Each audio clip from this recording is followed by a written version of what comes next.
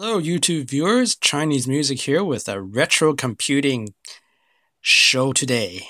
Here we have a EPROM, or Erasable Programmable Read-Only Memory. Now, this chip was technology used in the 70s and 80s to store programs for computers that when you switch it off, the memory would still retain when you turn it back on. Now, these had to be programmed with a special programmer and erased by ultraviolet light. See the see the window in there.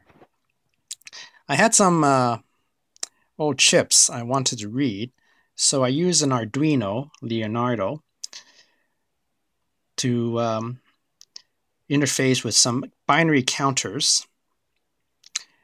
Now it would in interface the binary counters to the address pins of this chip here and would whatever addresses you count into it, the data would appear as a byte on these special pins, and then the pins would read back into the Arduino. So I will upload this program.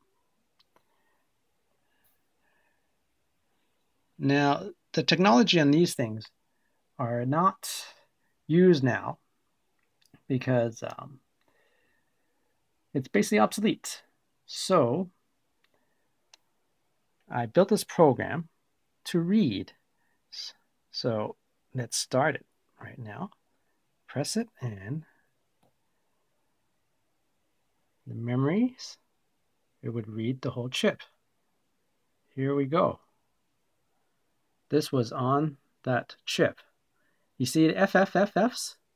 That means when the chip is initially um, um, come from the factory, it's FFF is the blank state of it. So when you program these chips with a special programmer, you would have to use a very high voltage, something like uh, 12 volts on this, this particular chip. This chip holds about 32K of memory.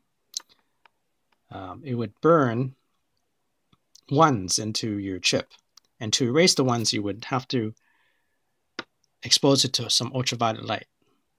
So just by having this, you would usually cover this window after you program it with a uh, piece of tape so don't erase it by accident.